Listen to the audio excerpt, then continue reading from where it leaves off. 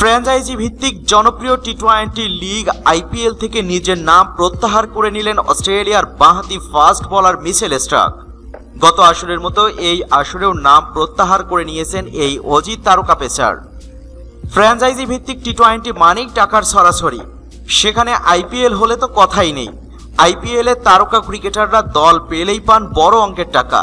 স্বাভাবিকভাবেই সবাই আইপিএলে অংশ নিতে চায়। তবে ভিন্ন পথে হাঁটলেন? অস্ট্রেলিয়ার তারকা পেসার মিসেল স্টাক আইপিএল এর আসন্ন নিলাম থেকে নিজের নাম প্রত্যাহার করে নিয়েছেন এই পেসার। মূলত আগামী বছর নিজেদের মাটিতে টি টোয়েন্টি বিশ্বকাপ, যার কারণে ঝুঁকি নিতে চাইছেন না মিসেল স্টাক এবারই প্রথম নাম প্রত্যাহার করে নেননি মিসেল স্ট্রাক। গত আসরেও নাম প্রত্যাহার করে নিয়েছিলেন। দু হাজার পনেরো সালে রয়্যাল চ্যালেঞ্জার্স বেঙ্গালুরুর হয়ে খেলেছিলেন। এরপর দু হাজার আঠারো সালে ভারতীয় নয় কোটি রুপিতে তাকে দলে নিয়েছিল কলকাতা নাইট রাইডার্স। কিন্তু বিশ্বকাপকে সামনে রেখে আইপিএলকে খেলতে যাননি তিনি। এর আগে দু হাজার ষোলো সতেরো আইপিএলে মিসেল স্টারকে অংশ নিতে দেখা যায়নি। মূলত সে সময় আইসিসি চ্যাম্পিয়ন্স ট্রফি থাকার কারণেই তিনি আইপিএলকে সরাসরি না করে দিয়েছিলেন।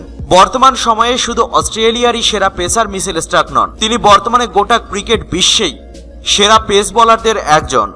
তাই গোটা বিশ্বের ফ্র্যাঞ্চাইজি লিগগুলোতে তার চাহিদাও অনেক। অথচ সেই মিসেল স্ট্রাকেই আইসিসির ইভেন্টগুলোর সামনে চলে আসলে বড় অঙ্কের টাকার চুক্তিকে পিছনে ফেলে ফ্র্যাঞ্চাইজি লিগগুলোকে সরাসরি নাই করে দেন।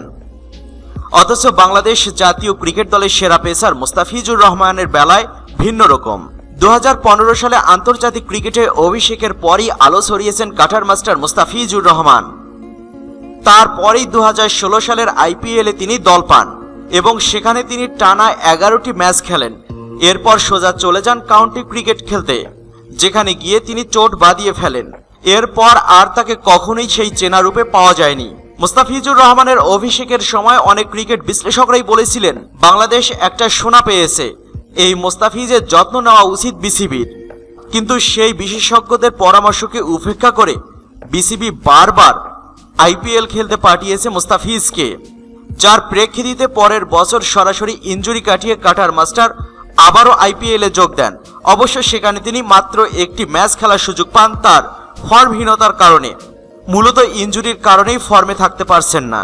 এরপর মুম্বাই ইন্ডিয়ান্সে খেলতে গিয়ে চোট বাঁধিয়ে ফেলেন আবারও, যার কারণে সেই আইপিএল এর পরে অনুষ্ঠিত আফগানিস্তানের বিপক্ষে টি টোয়েন্টি সিরিজেও খেলতে পারেননি। এর আগে মোস্তাফিজুর রহমানের আইপিএল খেলা নিয়ে এক বিসিবি কর্তাকে প্রশ্ন করা হলে তিনি সরাসরি উত্তর দেন, মোস্তাফিজ এখনও তরুণ। তার আইপিএল এর মতো ফ্র্যাঞ্চাইজি লিগগুলো খেলা উচিত, যাতে তিনি স্কিল ডেভেলপ করতে পারে। সেই সাথে অনেক মোটা অঙ্কের টাকারও ব্যাপার এটা। সেক্ষেত্রে বোঝাই যায় মোস্তাফিজকে আমরাই নষ্ট করে ফেলেছি।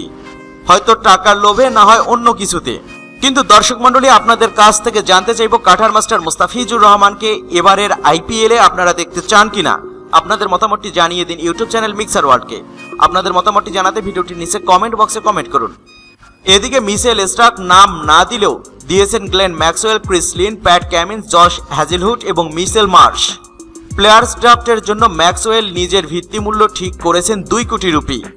গত কয়েক আসরে কলকাতার হয়ে খেলা ক্রিস লিনের ভিত্তিমূল্য দুই কোটি। স্টাকের পর নিজের নাম প্রত্যাহার করে নিয়েছেন ইংল্যান্ড দলের টেস্ট অধিনায়ক জরুট এদিকে আইপিএল এর প্লেয়ার্স ড্রাফটের নাম দিয়েছেন শ্রীলঙ্কার অলরাউন্ডার অ্যাঞ্জেলো ম্যাথিউস।